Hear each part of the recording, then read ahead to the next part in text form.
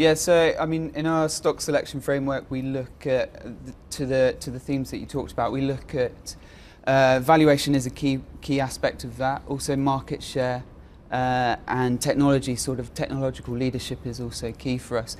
Uh, within valuation as well, we look at uh, earnings and cash flow. So those companies that are benefiting from these trends today. So these might be multi-decade trends, uh, but those companies that are actually profiting it from it today, we've actually found some interesting opportunities within that. Last one from me. Profitability today is important to you. Mm.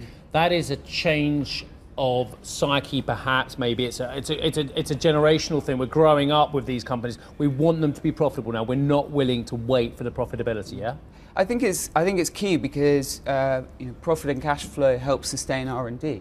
Mm. Uh, so those companies that are generating profit today should be able to sustain R and D over the long term, and that helps sustain their market leadership. Tom, I was poring over your notes here and I was looking down and it's all about cloud and artificial intelligence, future mobility, mm. autonomous vehicles. And I was looking for Alibaba or Huawei or SenseTime or some of the Chinese companies and I don't see any of them mentioned. Yeah. Is that is there a reason for that? Uh, there is a reason. Um, so uh, at EdenTree, we focus on responsible and sustainable investment, and uh, we do, as part of that, we don't invest in uh, companies that have state state-owned uh, ownership. Uh, and some of the companies within that have aspects of that. Uh, also, there's a corporate governance angle within China that we have certain reservations on. So, for, the, for those reasons, we don't uh, invest in some of those companies. I also looked for Apple or Facebook, and I didn't see those names either.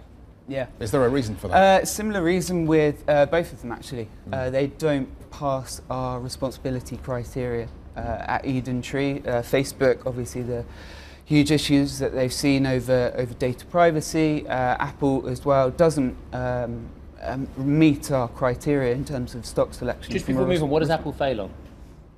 supply chain, mostly.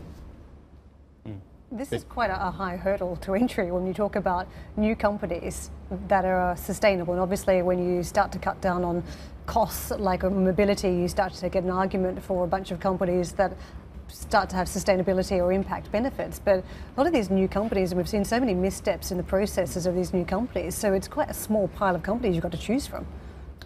Um, I mean, we've, we, we haven't found that. Uh, I think there's a lot of companies within, you know, the, the the uh, themes that Steve talked to. Uh, they've been in the industries for a long time. Maybe they're pivoting, like Microsoft's pivoting to cloud in the last five years. Um, and indeed in, in electric, uh, electric vehicles or autonomous so, driving. So These are companies that... from the uh, automotive industry that have uh, right. transitioned. So, when, so on that basis, so we just pick out a couple of big ones around mobility, Uber, mm -hmm. Lyft, Tesla. Do any of those pass the test? Uh, well, they, uh, Uber obviously isn't listed, so we haven't screened it from, from that perspective. So once it comes it to the market, we might, year, yes. might see uh, uh, Lyft probably uh, earlier by the looks of it. So uh, again, the, the same issues there.